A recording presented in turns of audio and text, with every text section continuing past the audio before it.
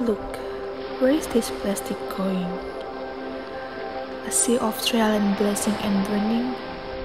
Without blue, there cannot be green. And without green, there can be no life. A dream from those who have not yet been born is to see the beauty of the ocean without being pollution.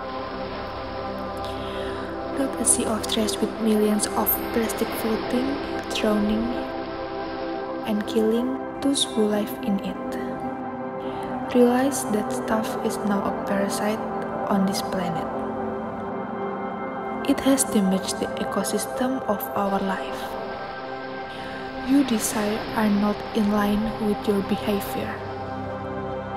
Your laughter is only brief. Then it becomes a regret. Everything that is beautiful is covered in the color of the tainted ink. They are languish, trapped, and cannot be free because of this one plastic.